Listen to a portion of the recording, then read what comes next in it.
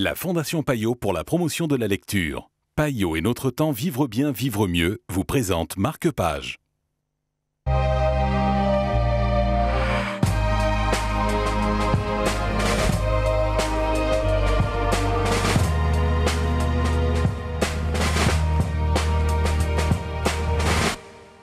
Bonjour et bienvenue dans Marque-Page Les Assassins et le livre dont nous allons vous parler aujourd'hui en compagnie de Pierre-François Clavel, le Pays du Bonjour Pierre-François. Bonjour.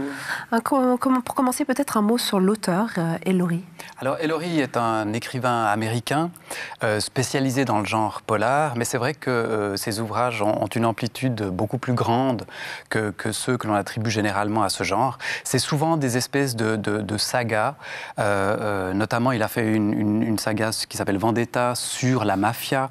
Il a aussi parlé des flics euh, à New York. Euh, le silence, c'était la vie d'un homme sur 40 ans, relié toujours à un meurtre.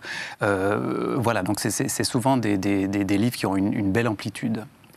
Quelle est justement peut-être l'originalité de cet ouvrage-ci Alors l'originalité des assassins réside dans trois points. Je dirais, le, bah, là il s'attaque à la thématique du serial killer. le premier point, c'est que jamais pendant ce, livre, on ne va être du côté du serial killer ni dans sa tête. On va toujours suivre le, travail des assassins, mm. euh, le travail des policiers, pardon.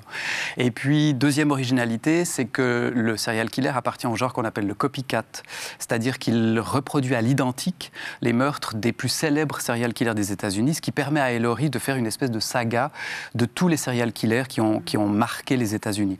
Et puis, euh, troisième, c'est un peu un, un plaisir euh, masochiste, c'est que la fin est frustrante. Mais je ne veux pas vous en parler, mais ça fait, ah. ça fait partie du plaisir. Merci beaucoup, Pierre-François, eh ben, parce qu'on est un peu maso et qu'on aime les fins frustrantes.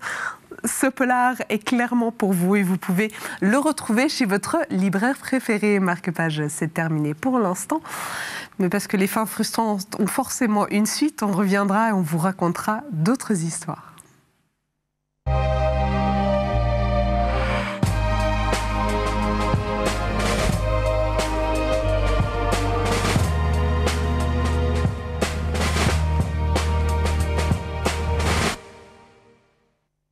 La Fondation Payot pour la promotion de la lecture. Payot et notre temps Vivre bien, vivre mieux vous ont présenté Marque Page.